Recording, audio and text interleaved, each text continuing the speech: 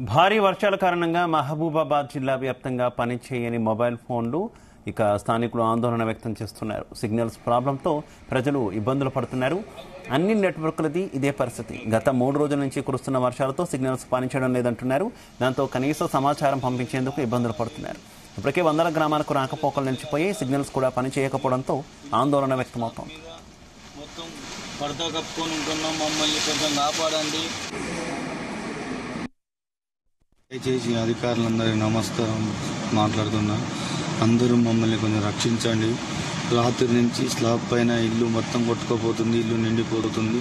రాత్రి నుంచి భారీ వర్షంతో పిల్లలతోని స్లాబ్ పైన పరదా కప్పుకొని కూర్చున్నాం. చలికి పిల్లలు వణికిపోతున్నాం అధికారులు మీకు దండం పెడతాను. మమ్మల్ని కాపాడి సేఫ్ జోన్లో పెట్టాను కాల్ చేస్తుంటే నో రిజిస్టర్ వర్క్ నెట్వర్క్ అంటారు నెట్వర్క్ అంటే రిజిస్టర్ అలర్ట్ చేసుకున్నాం కదా మళ్ళీ రిజిస్టర్ చేసుకోవాలి కొత్త అనేది కొత్త ఆలోచన వస్తుంది మాకు.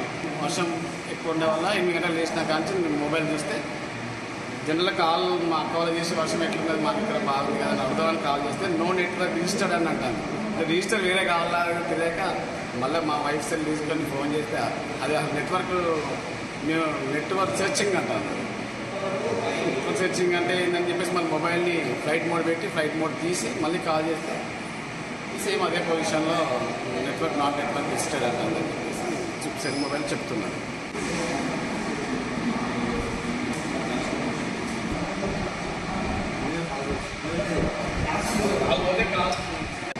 సిగ్నల్ ఉంది దీంట్లో ఫోర్ జీ ఉంది.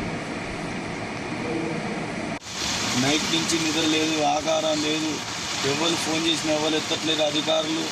మేము పిల్లలతోని స్లాబ్ మీద మొత్తం